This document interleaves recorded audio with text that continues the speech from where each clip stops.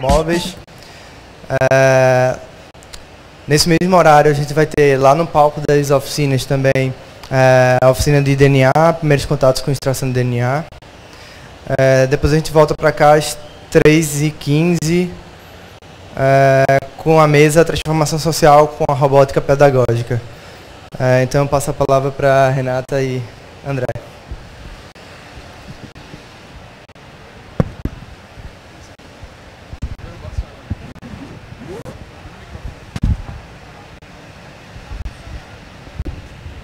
Ligado?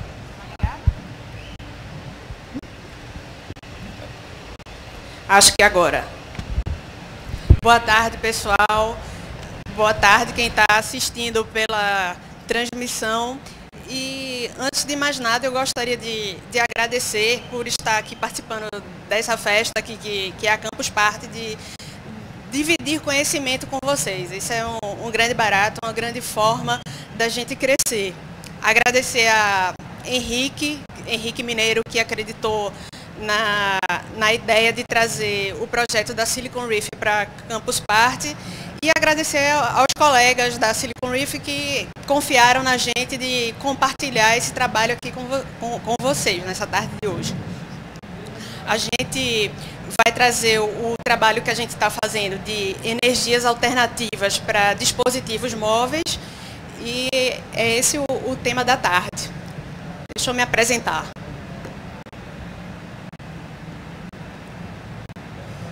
Bom, eu sou Renata, trabalho na Silicon há um ano, desenvolvendo o processo de marketing da, da empresa. A Silicon Reef é uma startup do, do Porto Digital e há um ano eu estou fazendo esse trabalho. Já trabalhei em empresas multinacionais, empresas é, de governo, como consultora, sempre trabalhando nessa área de marketing sempre trabalhando processo, produto, promoção, ponto de venda do ponto de vista estratégico das organizações. André, acho que quer se apresentar. Boa tarde, meu nome é André, sou formado em Engenharia Eletrônica e trabalho na Silicon como projetista de circuitos integrados desde 2009.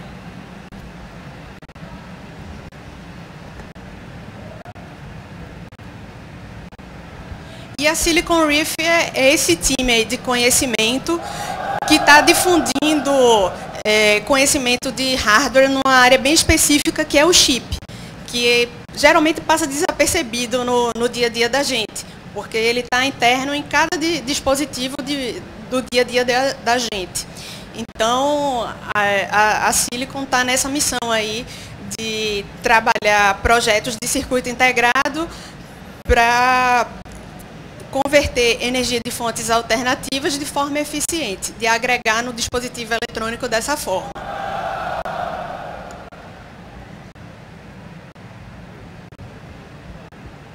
Então, se a gente pensar no dia a dia da gente, a gente está num contexto de mobilidade, de interatividade, comunicação, haja vista essa grande festa que é aqui a, a campus, que a gente está 24 horas por dia sete dias por semana comunicando e compartilhando conhecimento e numa escala global. Então, os equipamentos eletrônicos portáteis, como o tablet, o, o telefone celular, os smartphones, é, são equipamentos que hoje a gente praticamente não vive sem. A gente está nesse contexto aí precisando desses equipamentos para manter a comunicação, a, a conectividade. Então, todos esses equipamentos, eles precisam de energia para funcionar. E, e, esse é o ponto, né? Como é que a gente, é, no, no, no, mundo de comunicação global, a gente fica sem energia, sem conectividade. A gente não quer perder esses avanços que a gente teve, né? De, de, de, de tecnologia, de, de comunicação, de, de mudança até do, do comportamento mesmo tecnológico e social. Como é que isso agrega.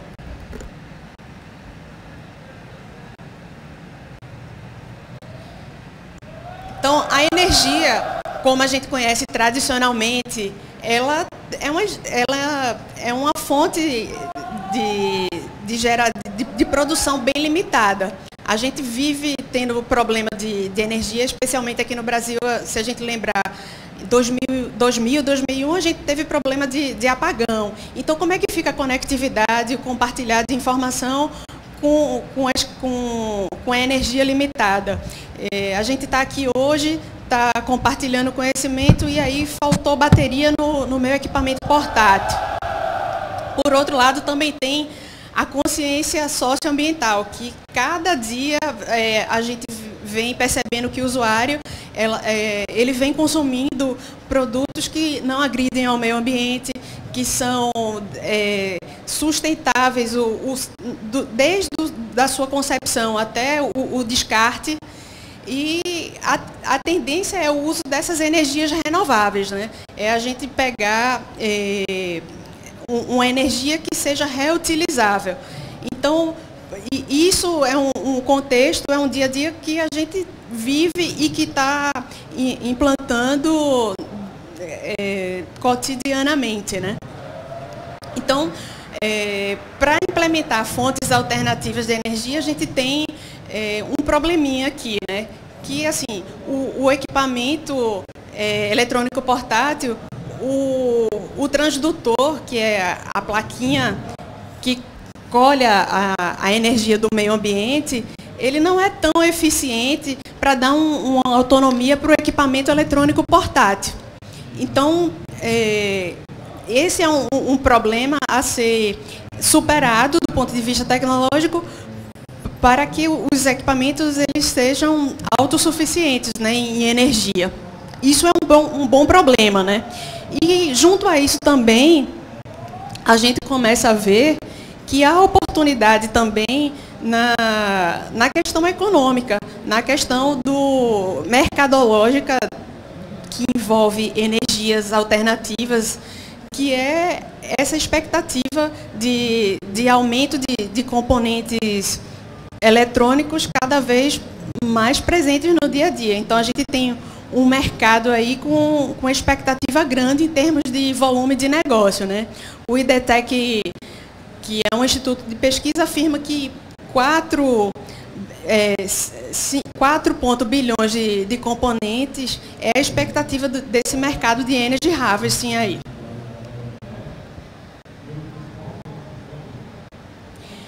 Então, quando você tem um problema e quando você tem um, uma oportunidade, o, o empreendedor, que, que é o caso da empresa que, que a gente trabalha, que foi iniciada com um projeto e depois é, o, os engenheiros resolveram empreender e criar um, uma empresa, começaram a ver que tinha um problema e uma oportunidade, que tinha mercado e tinha campo para abrir uma empresa. E aí as soluções começam a vislumbrar, né? começam a, a, a pintar as soluções na cabeça do empreendedor. Só para a gente situar, não muito tempo atrás, quando a gente estava na, na escola, a calculadora solar ela já faz parte do, do nosso universo já há bastante tempo, já é uma solução conhecida. Pega a energia do, do sol, transforma em energia elétrica e aí você consegue efetuar a sua soma com tranquilidade. 2 mais 2 igual a 4, sem problema nenhum. Mas isso requer uma quantidade mínima de, de energia para que o equipamento tenha a autonomia, que ela não te deixe na mão.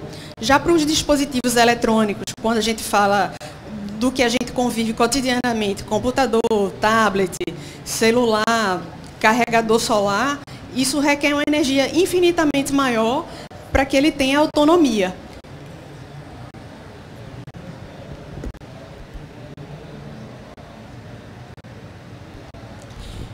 Então, a, quais são as fontes alternativas?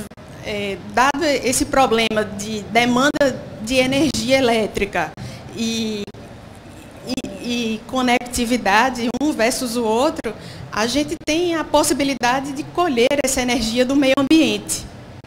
A gente pode falar de energia solar, de energia eólica, de, de energia termoelétrica, de energia de vibração, que são as que, em termos de estudos acadêmicos, em termos de prototipação, em termos de implantação de mercado, são as mais conhecidas e as que estão mais avançadas em relação a, a, a, gama de, de, alternativas que a gente tem no, no meio ambiente.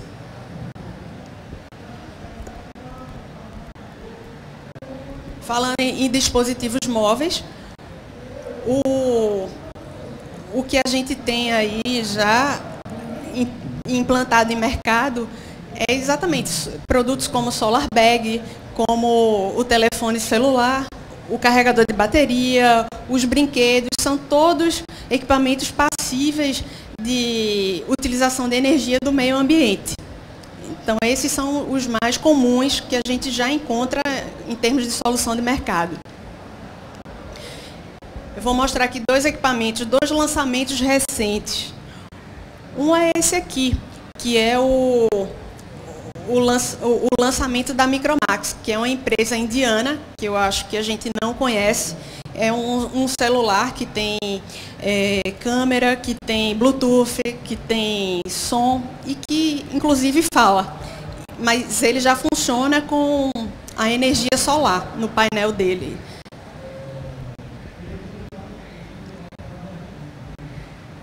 Esse aqui é o netbook da Samsung, também um lançamento recente e que é, já está é, em loja, já está no, no, no Brasil à venda, pra, pronto para comercialização. São lançamentos de julho e de maio de 2012. Então, essa ideia da colheita da, da energia, ela é uma coisa que está crescendo cada vez mais. Cada dia a gente vê os equipamentos eletrônicos adotando as fontes alternativas pra, para o seu funcionamento. Mas aí a gente pode, a gente começa a se indagar, né? Como é que é possível a gente fazer colheita de energia? Como é que a gente consegue tornar isso possível para o equipamento eletrônico? Que o, o, paradigma nosso da energia elétrica ele é muito forte, né? Então o que é que acontece do, do ponto que a energia é colhida, esse ponto aí é a placa de, de energia solar, que a gente trouxe como exemplo para mostrar como é que o sol incide aí e que se transforma em energia para o equipamento eletrônico. Né? A grande tônica desse tema de energia de fontes renováveis é essa, o equipamento de, que funciona a partir de fontes alternativas, ele precisa de processos, de novos componentes, para que ele tenha o, o que ele dê o pleno funcionamento. Então, é, é esse o, o grande mote, o grande diferencial das fontes alternativas. É isso que chama tanta atenção nesse tema. Então, a gente fala muito de energia solar, mas a energia eólica também é outro exemplo que a gente pode captar energia eólica e transformar em energia elétrica também. Não só em formato da, daquelas grandes energias eólicas, aquelas grandes fazendas eólicas de, de escala que a gente está habituado, mas a pequena captação de energia é, eólica ela também é, é transformada em energia elétrica. A gente vai ver exemplos sobre isso. Falando em mercado de, de, de colheita de energia, a gente pode ver, através dessa pesquisa do, do IDTEC, que em 10 anos o, o crescimento no volume de componentes para a colheita de energia ele é substancial. Né? Um, um crescimento de 100% não é para se, né, se deixar passar.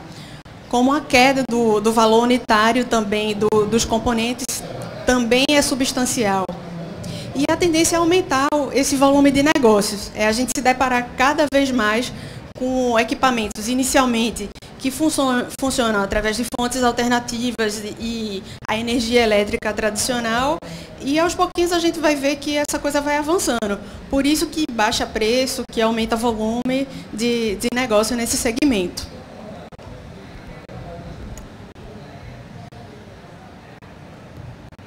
Então é isso. A experiência da, da Silicon Reef é uma experiência nacional, é uma experiência que dá bastante orgulho de trabalhar né, nessa empresa, porque é conhecimento nacional. A gente está fazendo uma coisa praticamente é, única nesse mercado de, de microeletrônica. A gente tá, conseguiu, através do EH01, reduzir custo por função, função agregar funcionalidades, é, ter conhecimento em miniaturização, que é uma coisa intrínseca a um projeto de circuito integrado.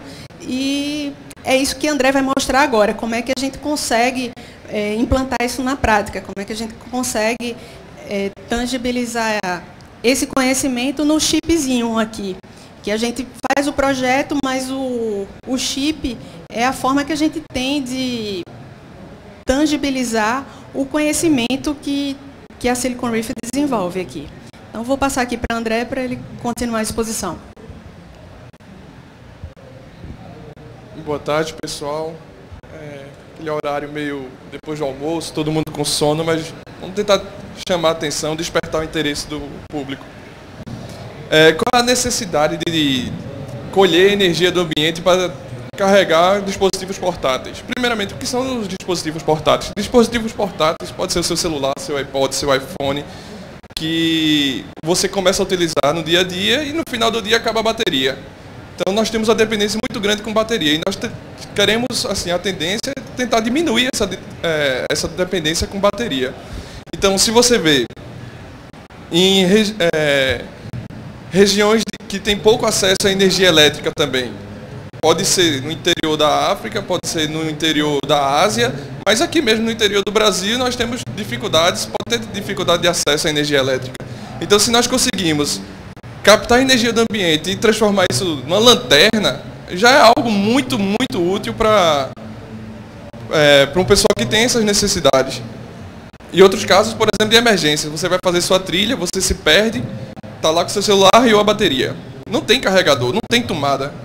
Como você conseguir extrair energia do ambiente e carregar um celular que possa pelo menos mandar uma mensagem para o bombeiro, pro, uma mensagem de emergência dizendo onde é que você está. Falando ainda dos dispositivos portáteis, qual a tendência natural?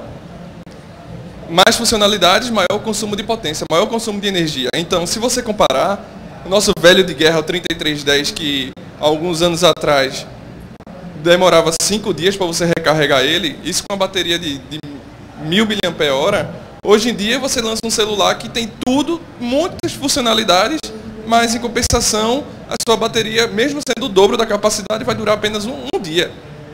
Então, isso tem que ser lidado é, para acabar com essa dependência, ou pelo menos diminuir, mitigar essa dependência com a bateria. E Renata já citou algumas energias alternativas, mas só para ter noção de escala, de, de, de necessidade de potência que pode ser adquirida do ambiente, você vê que, ah, beleza, tô, aqui tem sinal de Wi-Fi. Por que a gente não usa a energia do sinal do Wi-Fi? Ela é muito baixa.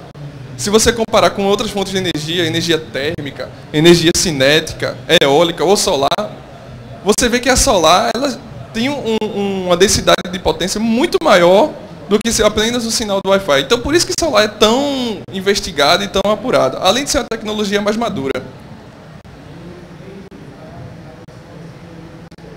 Agora, isso é real? Ah, vamos, isso já está acontecendo? Sim, isso já está acontecendo. Se você vê, por exemplo, o celular da Samsung. O celular da Samsung. O que é que ele tem de mais? Nada. Isso aqui, você liga, tem a lanterna e tudo mais. Mas se você perceber aqui atrás, tem um painel solar já. Isso aqui, a ideia não é carregar a bateria totalmente com ele, mas você diminuir a necessidade de recargas. Ou então você está perdido na, na sua trilha, você coloca lá no sol, uma hora depois você consegue fazer uma ligação de emergência. Então esse tipo de coisa já, já existe. E outra, ah, mas isso aqui é muito raro, isso aqui é protótipo. Não, isso aqui já está no mercado. Isso aqui foi comprado numa loja virtual aqui no Brasil. Já está disponível no mercado. Outro exemplo, como é que a gente faz para tirar a energia do ambiente e levarmos consigo para carregar dispositivos portáteis? Para energia solar, os exemplos são os carregadores solares. Ah, muito bonito, isso aqui. Isso existe? Existe, novamente. Nós temos exemplos aqui. Esse aqui é um carregador solar. Dentro dele vem uma bateria. Esse aqui é da empresa americana, Solio. Está à venda no mercado por 70 dólares. E eles dizem que com 8 horas de sol você vai carregar a bateria interna dele. E com acho que 3 horas de carga você consegue ter uma hora de carga no seu celular. Beleza, mas mercado americano. Outro exemplo. Esse aqui. Esse aqui é um carregador solar também. Da marca Elgin, coisa do tipo. Ele já está disponível no mercado. Foi comprado no Brasil. Acho que foi em questão lá, de 100 reais. Mas a tendência é baixar o custo com isso. Outro exemplo aqui, essa mochila. Essa mochila é uma mochila é, dos Estados Unidos, custa em torno de 230 dólares, mas tem dois painéis solares que você levando ela consigo, em coisa de uma hora você consegue é, carregar o seu celular. Ou então, com 4 ou 5 horas de sol, você vai carregar totalmente a bateria interna que tem dentro dela. Então, são coisas reais, são coisas que de fato acontecem. E qual a utilidade disso? Ah, mas isso aí você tem que colocar no sol. Quando é que eu vou botar minha mochila no sol? Imagine que você está viajando. Está lá na sua viagem, está tirando foto, beleza? Você é turista, acabou a bateria da sua câmera. O que é que você faz? Você tem que levar a bateria reserva? E se você tivesse com uma mochila dessa, enquanto você está passeando, vai carregando a, a sua bateria interna e depois só plugar e você já não tem mais a dependência de ter que ter uma bateria é, reserva carregada e tudo mais. Então, são coisas que estão no mercado. Você pode até ver um, um case de um PSP ali. É... Outros exemplos de como tirar energia cinética. Isso aqui ainda está como protótipo, ainda está esse tipo de coisa, mas já está entrando, já está sendo desenvolvido. A ideia é você desenvolver uma palmilha que quando você está andando, ele vai gerando energia pela pressão você, do seu pé. Isso aí gera energia, carrega uma bateria, depois você tira essa bateria e pode colocar no seu telefone, na sua câmera, no seu celular, no seu iPod. Então, essa energia que você está andando, você está sendo é, aproveitando ela. E, ah, mas isso também está muito longe? Não, não está tão longe assim. O exército, pelo menos o exército americano, já está desenvolvendo, já está utilizando como protótipo. A ideia é que você pega um, tem um soldado desse, que, sei lá, pesa 80 quilos. Ele carrega 80 quilos na sua mochila também. E 80 quilos de equipamento eletrônico que você precisa é, carregar, rádios, visão noturna, não sei o quê. E quanto mais você conseguir de tempo de vida útil da, dos equipamentos, melhor vai ser para esse soldado.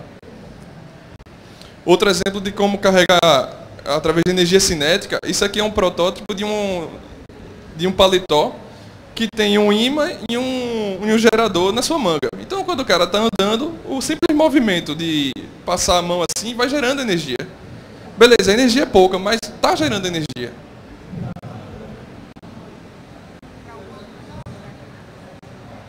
Energia eólica. A pessoa pensa em energia eólica, aqueles cataventos e não sei o quê já estão sendo desenvolvidos protótipos de mini, mini geradores eólicos que vão armazenando energia numa bateria e aí com essa bateria você vai carregar o seu celular depois. Não vai ter aquela dependência de você procurar uma tomada. Agora beleza. É um pouco estranho essa máscara aí, mas essa máscara ganhou um concurso de design. Design de produto. Mas pense, você está lá andando na sua bicicleta, você consegue colocar o, o, gerador eólico lá que vai terminar, depois do seu passeio, gerar energia e você pode captar essa energia. Esse aqui é um exemplo de um produto para extração de energia eletromagnética. O que quer dizer isso? Energia de Wi-Fi. Mesmo sendo pouca, tem gente desenvolvendo produto, uma empresa americana chamada RCA, que, está, que diz que consegue extrair energia do sinal de Wi-Fi um ambiente que vai carregar o seu dispositivo com a energia Wi-Fi do ambiente. E a promessa deles é conseguir miniaturizar isso para colocar no, no formato de uma bateria, de forma que você possa acoplar isso junto com a bateria e aí substituir no futuro a sua bateria por uma bateria mais inteligente, que consiga extrair energia do próprio sinal de Wi-Fi. Hoje em dia já temos baterias com circuitaria de, de é, NFC integrada. Por que não pode colocar no futuro isso aí? Agora, por que escolhemos energia solar? Primeiramente, por causa da densidade de potência. Então, ela gera mais energia do que qualquer outra fonte. Segundo, a, a, a tecnologia de desenvolvida para painel solar está muito mais desenvolvida do que o restante. Então, é, são coisas que já estão no mercado. O painel solar já está no mercado. E aí, esse aqui é um exemplo de, um, de uma célula solar monocristalina que já está no mercado. Essa aqui, por exemplo, é uma das células utilizadas naquela mochila da Voltaic. Nós entramos em contato com eles e eles forneceram para a gente para nós efetuarmos testes e desenvolver produto em cima dele. Então, isso aqui nada mais é do que silício, mas já tem novas tecnologias sendo desenvolvidas e, que vão permitir baratear o custo de produção de célula solar e transformar ela em larga escala. E esse painel, o que isso representa como circuito eletrônico? Isso aqui é uma fonte de corrente que vai produzir uma corrente dependente da iluminação. Quanto maior a iluminação, maior a corrente. E o que quer dizer uma fonte de corrente? Uma fonte de corrente é que ela vai ela vai fornecer uma corrente constante, independente da tensão, da voltagem em cima da, da célula solar, em cima do painel solar. Isso aqui é um exemplo que nós pegamos esse painel especificamente e coletamos para várias luminosidades. Isso aqui em Recife. Pode ter sido no laboratório, pode ter sido lá fora do CESA mesmo, onde a Silicon Reef está embarcada. Então, se você vê, esse painel em específico, ele está indo até uma tensão de 6, 7 volts e gera uma faixa de corrente até 300 mA, mais ou menos. É um painel de em torno de 1,5, 2 watts.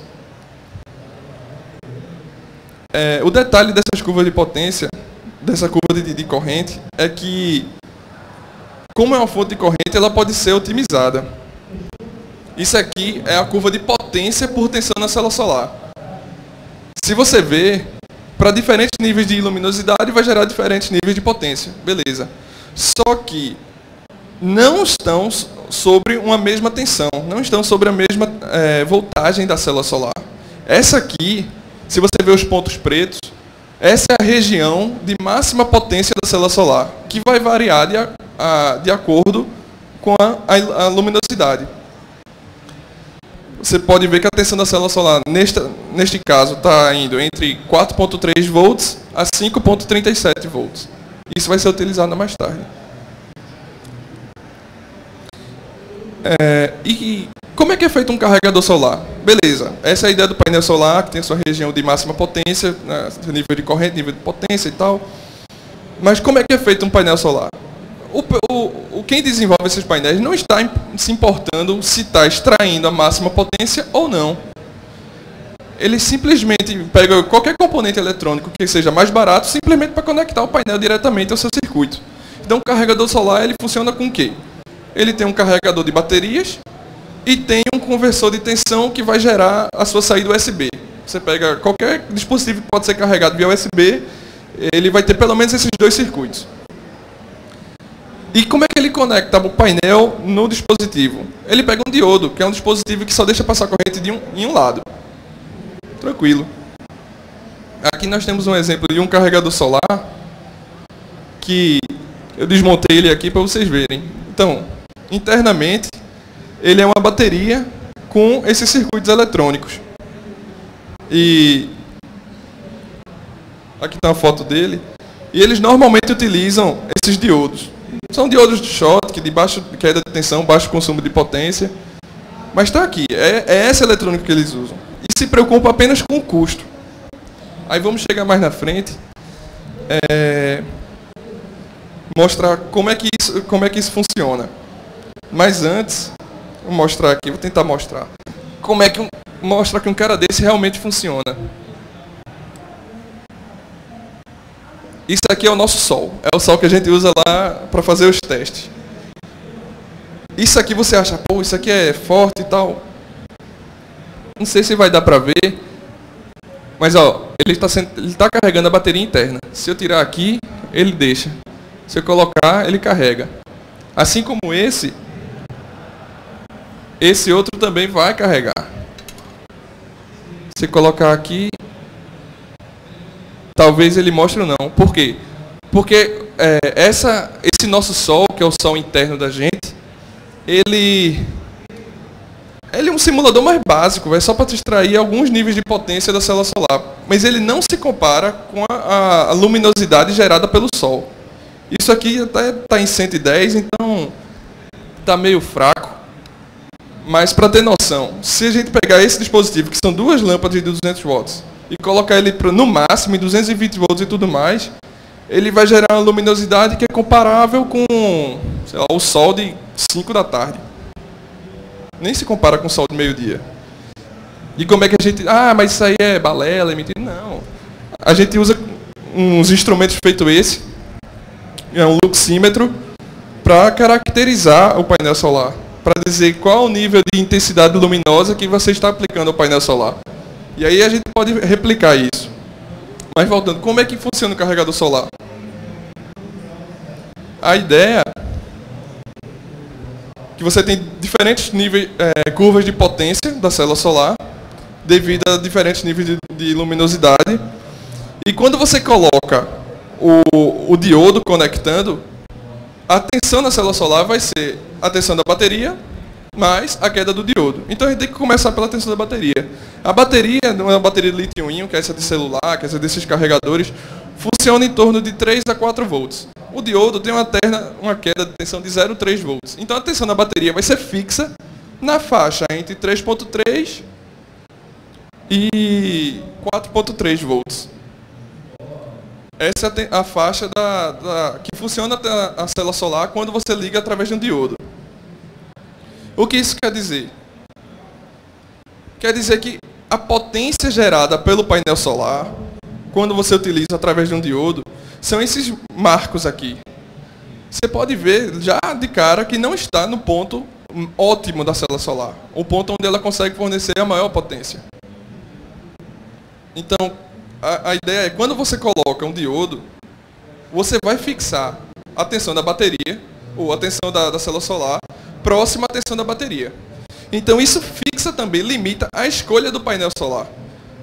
Então você vai ter que escolher um painel solar que vai ser mais ou menos de acordo com a tensão da bateria, se você quiser conseguir fazer ele funcionar.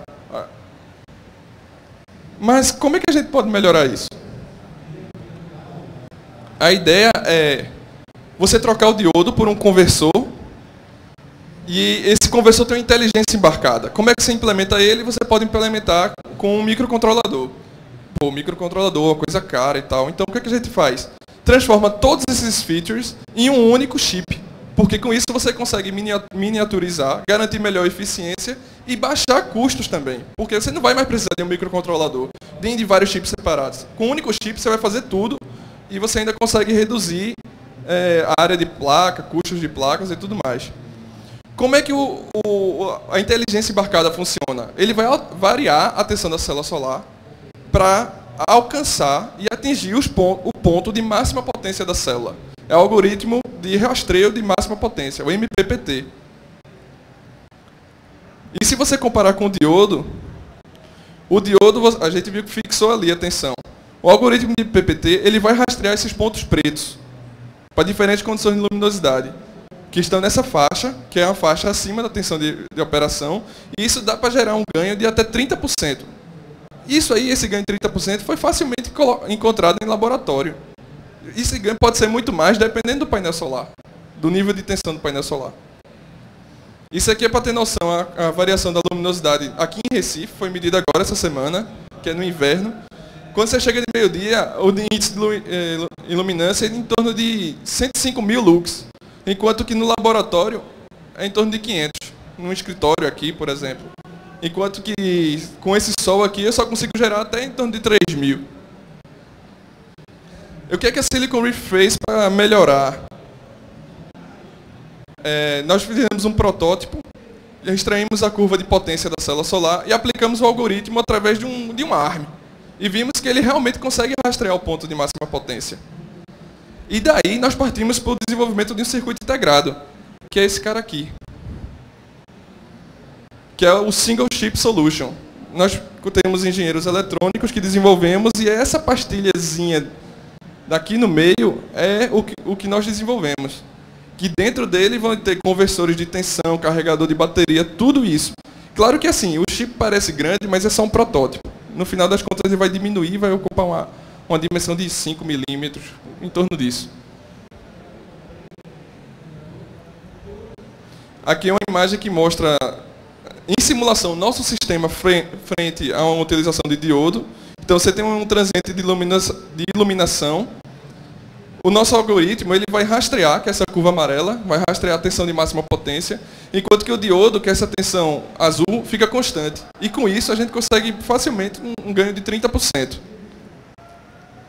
Aqui é uma imagem dos resultados preliminares, que são, a gente desenvolvemos esse chip com esse chip, nós desenvolvemos o nosso, a nossa demonstração, que é como se fosse um carregador solar, mas desenvolvido por nós, que tem uma bateria interna. Dessa bateria interna desenvolvemos a placa, que tem o nosso chip. Nós testamos e aí está uma imagem de osciloscópio que mostra, enquanto a tensão de diodo fica lá constante, nós, nosso algoritmo ele fica rastreando de acordo com a variação da luminosidade. Então, foi isso que nós tentamos mostrar, que além da a ideia nasceu, e há uma startup aqui, pernambucana, que está desenvolvendo produtos para colher é, energias de fontes alternativas para carregar dispositivos portáteis. Conhecimento nacional, conhecimento regional. Muito obrigado.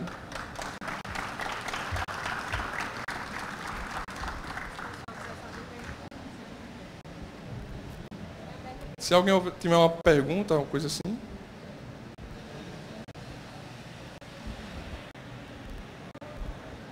É, boa tarde. Eu queria saber se existe algum projeto, não só no Brasil, mas como no mundo, para a criação de células de energia que são autossustentáveis, que não precisam nem de nada para recarregar, que ela mesmo se recarrega. Entende? Você fala célula de energia, uma célula, um painel solar desse?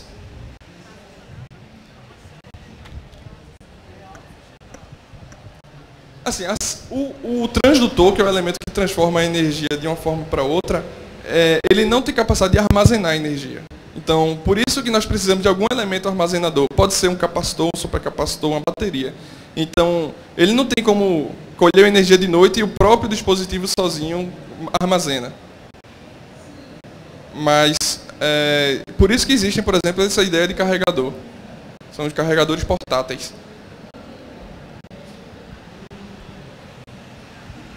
Boa tarde, André.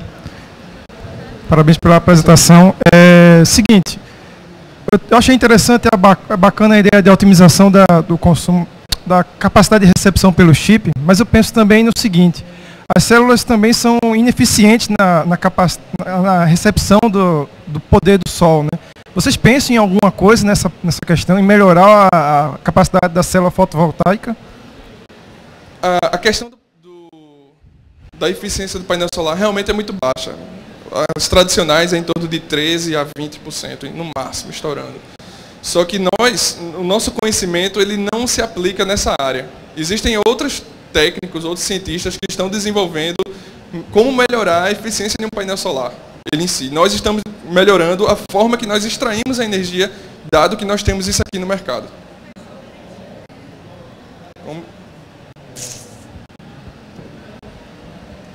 Perguntas? Perguntas, perguntas, questionamentos, dúvidas. Então, é, curiosidade também, né? Então eu agradeço, André e. Sempre esqueço, Renata. Agradecemos a oportunidade. Muito obrigado.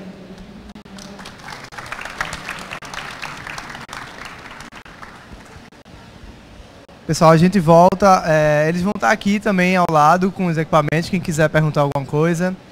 É, a gente vai dar um intervalo de 3 e meia. A gente volta com a mesa Transformação Social com Robótica Pedagógica. Ainda está tendo a, a, oficina de extração de DNA. Fica perto do cenário Pitágoras, o azul ali do lado. Tem uma bancada, o pessoal está lá ainda. Quem quiser ainda dá, dá para chegar lá. No mercado eles usam diodo, sim. Só um diodo simples. E às 4 é, 4h45 vai ter a mesa Hack a Estética da Gambiarra.